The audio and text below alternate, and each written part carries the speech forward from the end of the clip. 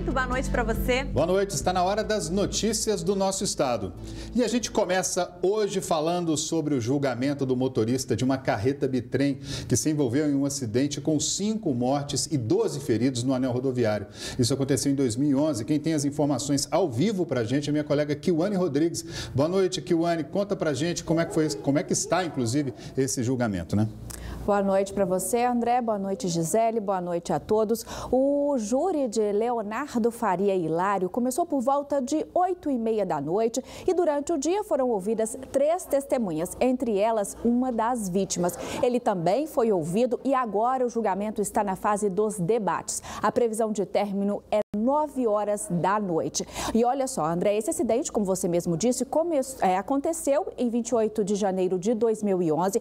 Leonardo Faria Hilário, ele dirigia uma carreta que transportava 37 toneladas de trigo e no trecho do Betânia, na descida do Betânia, ele perdeu então o controle dessa carreta. É, a perícia constatou que ele estava a 115 quilômetros por hora em um trecho em que é permitido 60 quilômetros por hora. É, ele arrastou 14 veículos, deixou 12 feridos e 5 mortos. É com você, André. Obrigado pelas informações, Kiwane Rodrigues.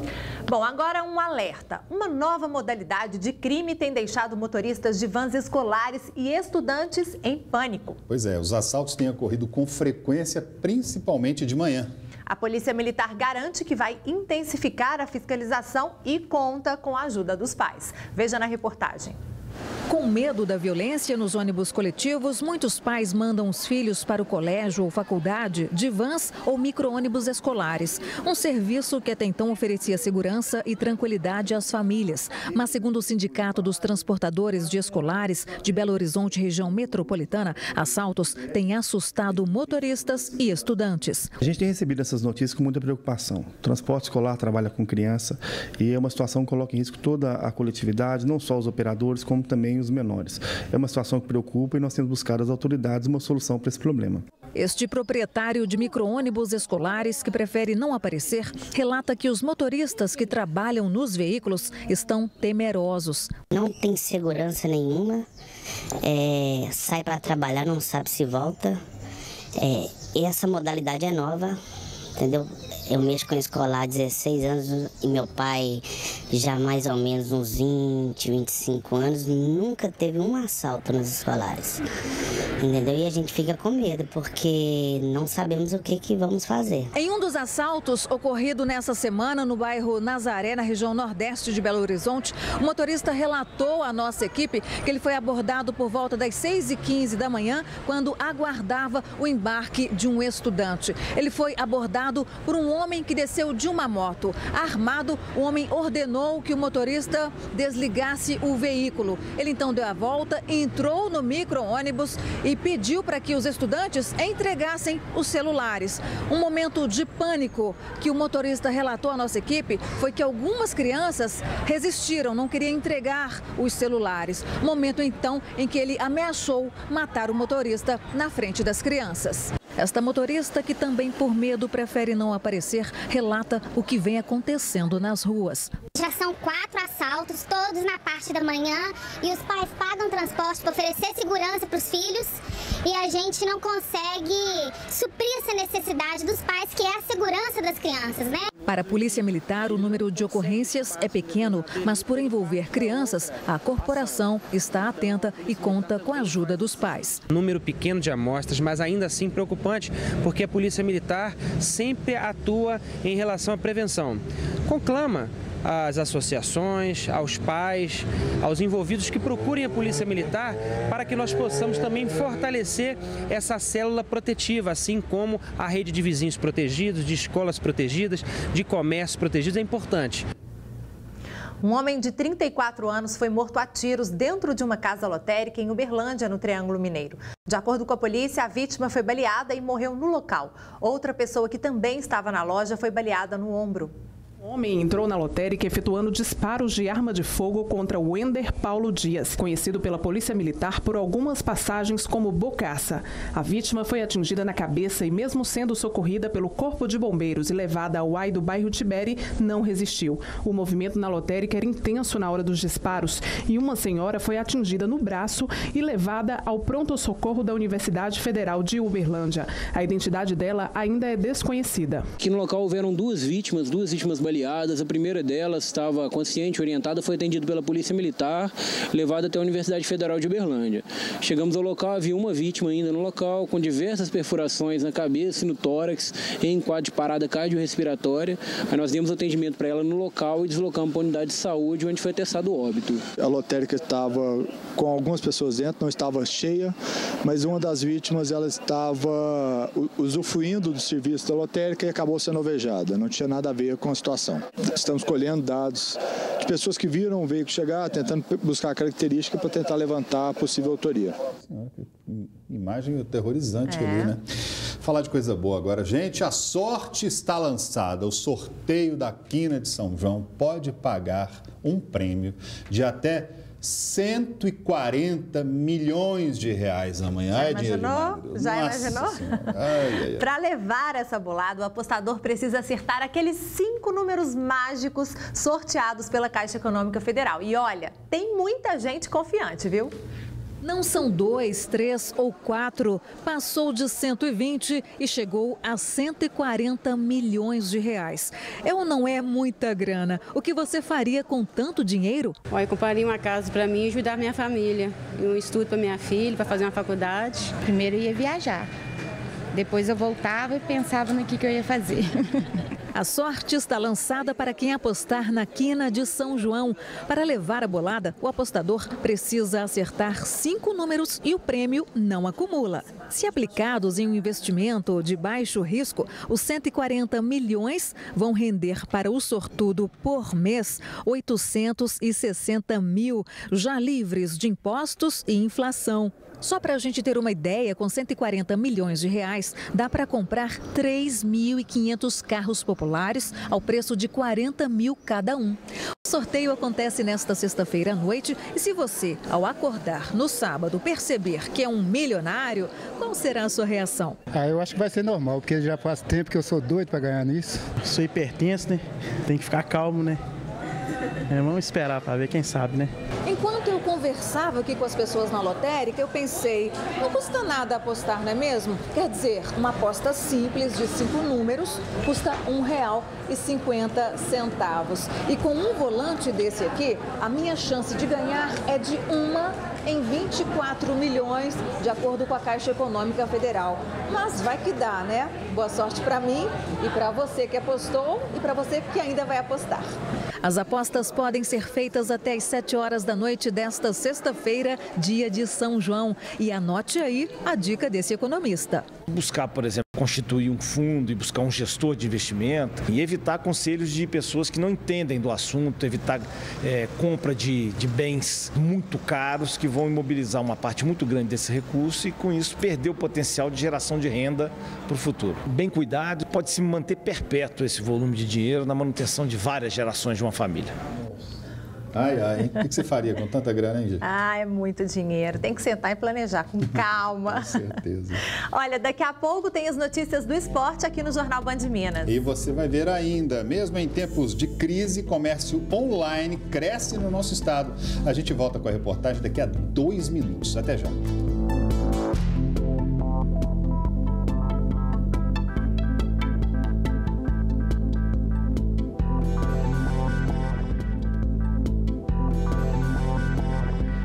Volta. Agora a gente passou o intervalo inteiro falando sobre o que fazer com 140 milhões de reais. Olha, vamos falar agora sobre o comércio digital que surgiu aqui no Brasil há cerca de 15 anos. E como o investimento e o risco inicial para abrir uma loja virtual são baixos, o segmento vem se popularizando cada vez mais. Só neste ano, duas mil lojas virtuais foram abertas aqui no nosso estado. O ambiente é de uma casa com cozinha, também sala de estar. Mas aqui funciona a empresa do Alexandre, que viu no comércio eletrônico uma oportunidade de ser dono do próprio negócio. Ex-professor de História no funcionalismo público, Alexandre investiu no segmento e abriu a loja em 2013. A empresa começou como MEI, né? só minha esposa ela, ela começou. E você tem um, um mínimo de faturamento anual com quatro meses ela superou é, é, esse, esse valor é, limite. Aí a empresa se transformou no ME. Em pouco tempo, acho que mais seis meses, ela também superou o patamar mínimo. Aí eu, aí eu saí de onde eu trabalhava, né? exonerei. E a gente fez sociedade, montamos a empresa, uma, uma, uma limitada, não EPP.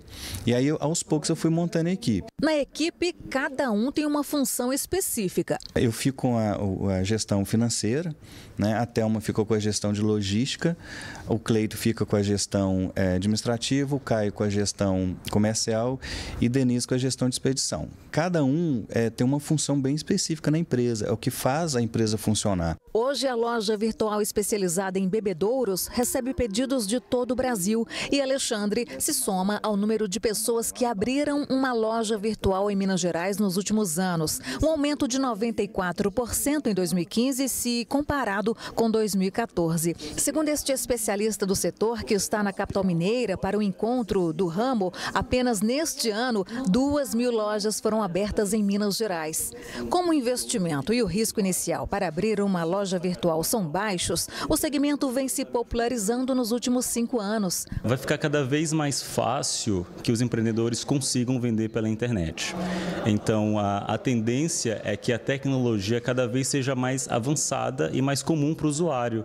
Hoje o mercado oferece tudo para quem quer iniciar o negócio, mas o especialista alerta que para ter sucesso é preciso total transparência. Toda negociação tem que ficar muito clara, afinal o consumidor final ele não está vendo o produto ali na frente. Então o quanto mais transparente em termos de regras de entrega e da qualidade do produto o empreendedor que está vendendo pela internet for, melhor vai ser para ele, porque ele vai conquistar um cliente e o cliente não vai ter nenhuma surpresa negativa ao receber o produto em casa. Lembra do Alexandre? Pois é, além da transparência, ele também apostou na persistência. Tem que ter persistência. Né? É, no início a gente trabalhava de 7 da manhã à meia-noite, quase todo dia, inclusive sábado e domingo, porque a gente tinha que acertar todos os pontos. Então, é, em momento nenhum, a gente desistiu.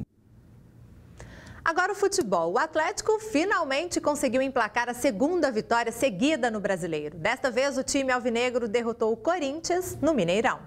No primeiro tempo, um jogo mais estudado. Levou quase 10 minutos para o Atlético chegar pela primeira vez. Cleiton tentou Fred, mas o centroavante estava cercado. Só que foi o Corinthians que levou mais perigo nesse chute de Guilherme. Depois, Fred exigiu boa defesa de Cássio e no rebote, Robinho estava impedido. Neste lance, o Timão pediu toque de mão dentro da área, o que seria pênalti.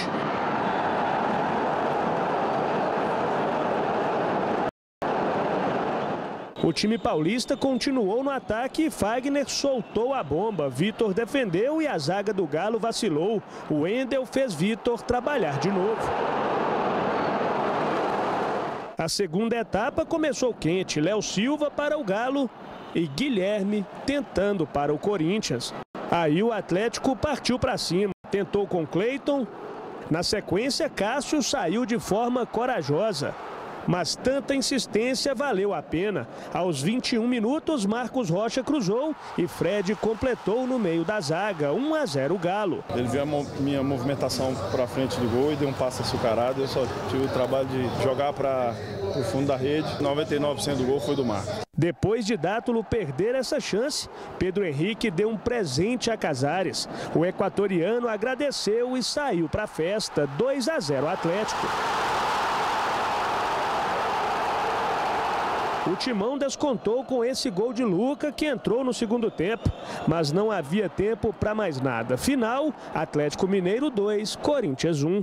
Resultado que mexeu com os dois times na tabela de classificação. O Corinthians deixou o G4 e agora é o sexto colocado. Já o Atlético confirmou a ascensão, 11 lugar e 13 pontos. Lembrando que o Galo tem mais dois jogos seguidos aqui em Belo Horizonte. Primeiro o América, depois o Botafogo. A gente já, já conversou antes de disputar esses quatro jogos.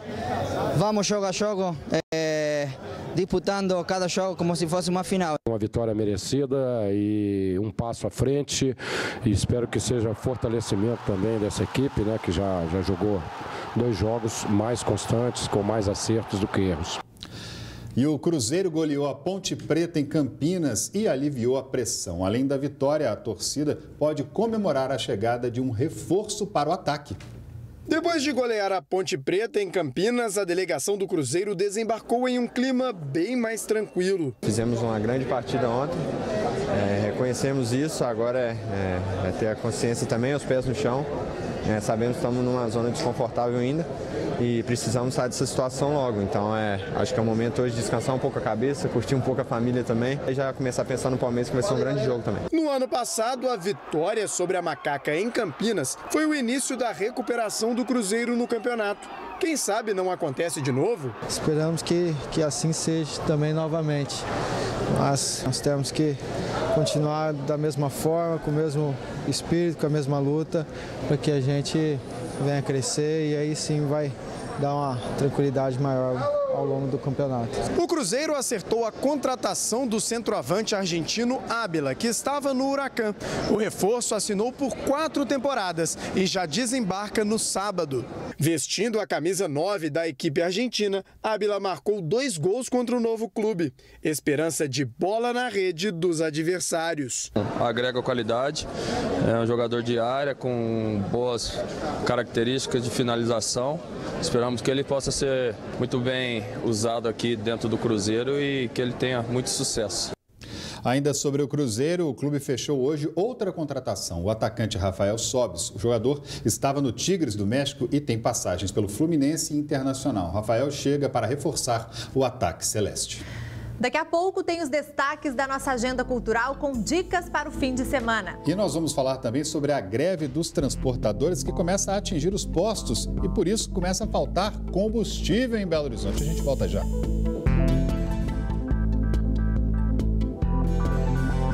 A greve dos transportadores de combustíveis cresceu e desde ontem começou a faltar gasolina, álcool e diesel nos postos da capital. No início da tarde, o entra e sai neste posto era constante. A cada carro ou moto que chegava, a notícia era a mesma.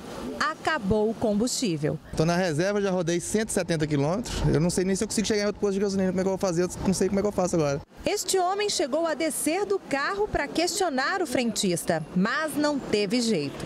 Este carro estava na reserva e o motorista sem saber o que fazer. Trabalhando, né? Você vê, na reserva. Eu cheio de entrega para fazer, ué. Tá difícil, né? Neste outro posto, o pátio estava vazio. As bombas estavam zeradas de álcool, gasolina e diesel. Desde terça-feira à noite, não houve abastecimento. O etanol começou a faltar desde ontem, a gasolina comum acabou ontem à noite e hoje de manhã acabou a gasolina aditivada. E agora, na hora do almoço, acabou o diesel. E estamos aí contabilizando o prejuízo já do mês. Eu acho que esse mês fecha no vermelho, infelizmente. O diretor do Sindicato do Comércio Varejista de Derivados do Petróleo conta que vários postos da capital tiveram que fechar as portas por falta de combustível. São centenas de postos comprometidos com o desabastecimento de combustíveis atinge um raio de aproximadamente 300 quilômetros no entorno da refinaria Gabriel Passos, em Betim. A situação é resultado da greve dos transportadores de combustíveis que já dura dois dias. A categoria protesta contra o baixo valor do frete e o alto custo dos impostos. Enquanto nada é decidido, o diretor do Minas Petro pede para que a população não se desespere. Mantenha a calma e que evite o efeito cascata numa atitude cautelosa, alguém que tenta abastecer 10 litros de combustíveis e não acha, Quando ele encontrar, ele vai completar o tanque, acumulando os abastecimentos desnecessários e prejudicando aquele consumidor que poderia ainda encontrar um resto de estoque. A nossa reportagem terminaria aqui, se não fosse esse telefonema recebido pelo dono do posto. Estou conversando aqui, acabei de receber uma ligação do pessoal do Sinditanques e parece que foi tudo liberado agora, 100%. Alívio, né? Agora é só esperar conseguir atender todos os postos, né? Ainda tem um retardozinho para conseguir atender toda essa demanda aí, mas graças a Deus parece que resolveu. De acordo com o Minas Petro, o reabastecimento começou agora à noite, mas a situação só volta ao normal na próxima segunda-feira.